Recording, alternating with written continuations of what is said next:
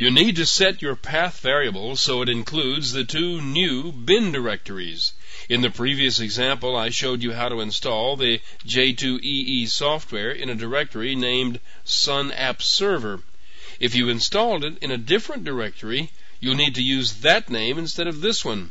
The programs installed with it are in the bin subdirectory, so this is the one that you'll need to include in the path. The other directory you need to include in the path is the bin directory holding the Java compiler and such. I installed the one that came with J2EE, and it installs as a subdirectory here. And it also has a bin directory. If you install the JDK separately, it will almost certainly be in another directory. Now adding both of these bin directory names to the path is all that's necessary to complete the fundamental installation. The rest of this movie is about the mechanics of doing just that. Now I'm going to demonstrate how it's done on an XP system, but the same procedure applies to other versions of Windows as well.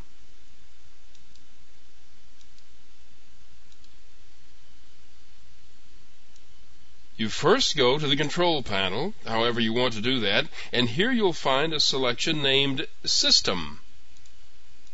Choosing the Advanced tab shows you the window with the Environment Variables button. Here you select the environment variable that you wish to edit.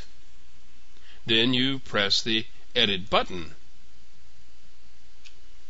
You can see that I've already put the two directories in here. I put them first in the list of directories in the path because the path is read from left to right, and getting a wrong program by the right name can be very confusing. The directory names must be complete, including the drive letter, and all the directory names must be separated, one from the other, by a semicolon. And that's it. You save it all and close the windows.